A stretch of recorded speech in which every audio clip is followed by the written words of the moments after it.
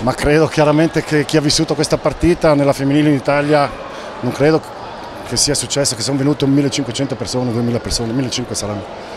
Eh, però devo fare i complimenti al Salerno che comunque vivendo questa realtà ma anche per noi è, è, è nuova perché anche noi non abbiamo mai giocato davanti a 1500 persone.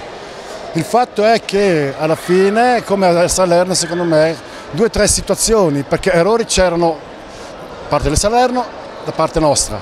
I portieri, devo anche ammettere o dire che la Monica eh, ha fatto una gran partita al primo tempo, anche nel secondo, ma è quasi sola perché abbiamo perso la, la Pernthaler e la Fischnaller ancora giovane. E dall'altra parte c'è il Salerno che ha due portieri bravi, eh, con meno pressione e con anche una varietà di, di parare, vari, sì, una variazione di parare. Però devo fare i complimenti alle mie amazzone, si dice, perché loro non si arrendono, loro combattono fino alla fine, eh, si aiutano, c'è un bel gruppo e adesso però questa è solamente gara 2. Noi abbiamo fame, fame tanta fame e adesso arriva gara 3. Però dirò alle mie ragazze eh, le emozioni bene fino a un certo punto, però il bello arriva ancora. Esatto, e soprattutto come si prepara gara 3? È molto difficile. Adesso chiaramente già oggi farò l'analisi di questa partita, anche sicuramente l'Avram.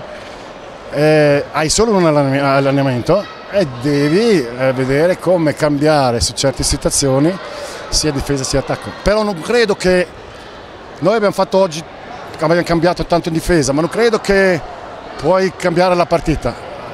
Tutto l'anno avevi le ragazze. E... Anche perché sono due squadre che si conoscono benissimo. Bravo. La, la, decisione, diciamo, l'ultima palla, l'ultimo tiro non è questo, noi abbiamo sbagliato troppo sotto la porta, diciamo che avremmo avuto bisogno di tiri davvero a finale che lo, lo trasmetterò domani alle ragazze, servono tiri veri, allora eh, questo penso che ha fatto la differenza perché le difese sono state strette, ci sono stati dei sbagli, ma i tiri dai 6 metri, dai 9 metri devono essere più, più veri.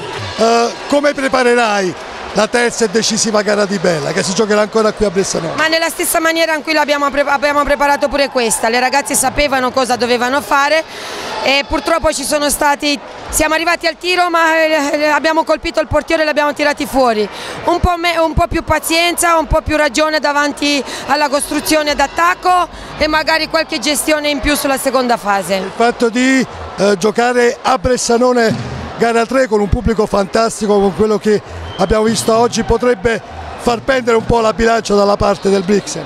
Certo, questo sì, perché stasera veramente la palestra piena, fa molto caldo, la gente attiva, davvero complimenti al pubblico del Brixen, la gente attiva hanno, hanno eh, gridato tutto, tutto, il tempo, hanno creato un'atmosfera eh, davvero per una finale, sono felice di aver vissuto un'atmosfera del genere.